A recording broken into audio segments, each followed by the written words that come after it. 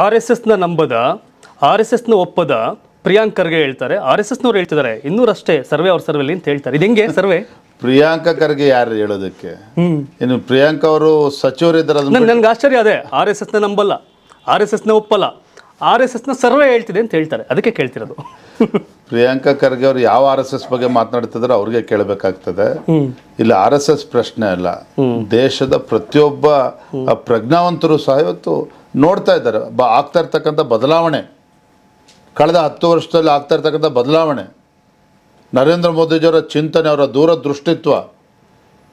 ಇವತ್ತು ಎಲ್ಲರೂ ಕೂಡ ಅದನ್ನು ಇವತ್ತು ಗಮನಿಸ್ತಾ ಇದ್ದಾರೆ. ಅಲ್ಲ ರೀ, ಯಾವ ಎರಡು ಸಾವಿರದ ಹದಿನಾಲ್ಕರಲ್ಲಿ ಶಿವಕುಮಾರ್ ನಾನು ಗೊತ್ತಿರಲಿ, ದೇಶದಲ್ಲಿ ಯಾರೇ ಒಬ್ಬ ಭಾರತೀಯ ಅಥವಾ ಯುವಕರು ಈ ದೇಶಕ್ಕೆ ಭವಿಷ್ಯ ಇದೆ ಅಂತೇಳಿ ಯಾರೂ ಕೂಡ ಅಂದ್ಕೊಂಡಿರಲಿಲ್ಲ.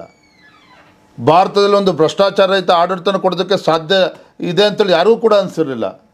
ನಾನು ಚಾಲೆಂಜ್ ಮಾಡ್ತೇನೆ ಅದು ಕಾಂಗ್ರೆಸ್ ಪಕ್ಷದ ಮುಖಂಡರಿಗೆ ಅಥವಾ ಪ್ರಿಯಾಂಕಾ ಖರ್ಗೆಗೆ. ಒಂದು ಅಲಿಗೇಷನ್ ಇವತ್ತು ಕೇಂದ್ರ ಸರ್ಕಾರದ ವಿರುದ್ಧ. ಒಂದು ಭ್ರಷ್ಟಾಚಾರ ಇಲ್ಲದೇ ಇವತ್ತು ಹಂಗಾರೆ ಇಷ್ಟೊಂದು ಉತ್ತಮ ಆಡಳಿತ ನೀಡ್ತಾರೋ ಹಾಗಾದ್ರೆ ನರೇಂದ್ರ ಮೋದಿಜಿಯವರು ಯಾವ ಹಾಗಾಗಿ ಪ್ರಿಯಾಂಕಾ ಖರ್ಗೆ ಅವ್ರು ಏನು ಹೇಳ್ತಾರೆ ಅನ್ನೋದಕ್ಕಿಂತ ಹೆಚ್ಚಾಗಿ ಈ ದೇಶದಲ್ಲಿ ಪ್ರತಿಯೊಬ್ಬ ಭಾರತೀಯ ಇವತ್ತು ಯಾವ ರೀತಿ ಹೆಮ್ಮೆ ಪಡ್ತಾ ಇದ್ದಾನೆ ಇವತ್ತು ಬಿ ಜೆ ಪಿ ಬಗ್ಗೆ ನರೇಂದ್ರ ಮೋದಿಜಿಯವ್ರ ಬಗ್ಗೆ?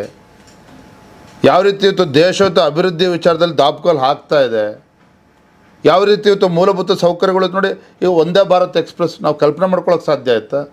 ಯಾವುದೋ ಹೊರದೇಶಕ್ಕೆ ಹೋದಾಗ, ಸಿಂಗಾಪುರ, ಮಲೇಷ್ಯಾ, ಬೇರೆ ದೇಶಕ್ಕೆ ಹೋದಾಗ ಅಂಥ ಟ್ರೈನ್ಗಳನ್ನು ನೋಡ್ತೀವಿ. ಇವತ್ತು ನಮ್ಮ ದೇಶದಲ್ಲಿ ಒಬ್ಬ ಸಾಮಾನ್ಯರು ಕೂಡ ಅನುಭವಿಸ್ತಾ ಇದ್ದಾರೆ. ಇವತ್ತು ಏರ್ಪೋರ್ಟ್ಗಳು ಇವತ್ತು ವಿಮಾನ, ವಿಮಾನಯಾನ ಅಂತಕ್ಕಂಥದ್ದು ಎಲ್ಲ ಶ್ರೀಮಂತರಿಗೆ ಅಂತೇಳಿ ನಾವು ಒಂದು ಒಂದು ಭಾವನೆ ಇತ್ತು ಒಂದು ಸಂದರ್ಭದಲ್ಲಿ. ಆದರೆ ನಮ್ಮ ನರೇಂದ್ರ ಮೋದಿಜಿಯವರು ಉಡಾನ್ ಸ್ಕೀಮನ್ನು ತರೋದ್ರ ಮುಖೇನ ಒಬ್ಬ ಹ- ಹವಾಯಿ ಚಪ್ಪಲಿ ಹಾಕ್ಕೊಂಡು ಹೋಗ್ತಕ್ಕಂಥವನು ಕೂಡ, ಒಬ್ಬ ಸಾಮಾನ್ಯ ಜನರು ಕೂಡ ವಿಮಾನದಲ್ಲಿ ಹೋಗಬೇಕು ಅಂತಕ್ಕಂಥ ಕನಸನ್ನು ಬಿತ್ತಿರ್ತಕ್ಕಂಥ ನರೇಂದ್ರ ಮೋದಿಜಿಯವರು. ಇದು ಸಾಮಾನ್ಯ ಅಲ್ಲ ಅಂದೆ. ಇವತ್ತು ಜಾಬ್ ಕ್ರಿಯೇಷನ್ ಬಗ್ಗೆ ಮಾತನಾಡ್ತಾರೆ. ಇವತ್ತು ಕೇಂದ್ರ ಸರ್ಕಾರ ಬಂದ ಮೇಲೆ ಇವತ್ತು ಇವತ್ತು ಉದ್ಯೋಗ ಸೃಷ್ಟಿ ಅದೇ ನಮ್ಮ ಪ್ರಧಾನಮಂತ್ರಿ ನರೇಂದ್ರ ಮೋದಿಜಿಯವರು ಉದ್ಯೋಗ ದಾತರಾಗಬೇಕು ನಮ್ಮ ಯುವ ಜನತೆ ಅಂತಕ್ಕಂಥ ಕನಸು ಅವ್ರು ಇಟ್ಕೊಂಡಿರ್ತಕ್ಕಂಥದ್ದು. It's not about